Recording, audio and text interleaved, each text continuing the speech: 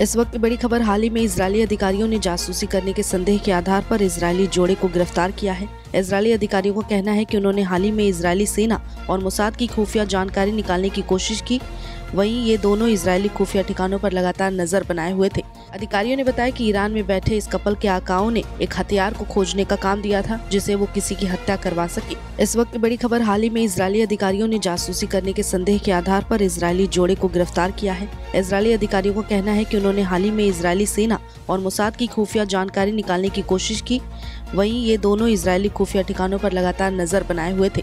अधिकारियों ने बताया कि ईरान में बैठे इस कपल के आकाओं ने एक हथियार को खोजने का काम दिया था, जिसे वो किसी की हत्या करवा सके। इस वक्त की बड़ी खबर हाल ही में इसराइली अधिकारियों ने जासूसी करने के संदेह के आधार पर इसराइली जोड़े को गिरफ़्तार किया है। इसराइली अधिकारियों का कहना है की उन्होंने हाल ही में इसराइली सेना और मुसाद की खुफिया जानकारी निकालने की कोशिश की वहीं ये दोनों इजरायली खुफिया ठिकानों पर लगातार नज़र बनाए हुए थे। अधिकारियों ने बताया कि ईरान में बैठे इस कपल के आकाओं ने एक हथियार को खोजने का काम दिया था, जिसे वो किसी की हत्या करवा सके।